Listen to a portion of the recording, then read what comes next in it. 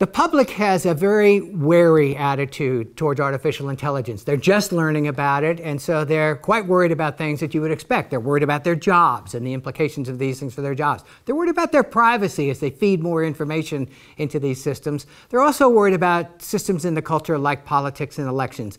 They don't think American elections are doing so well to begin with, and adding this new dimension to them is just not going to serve the public well, according to their own views.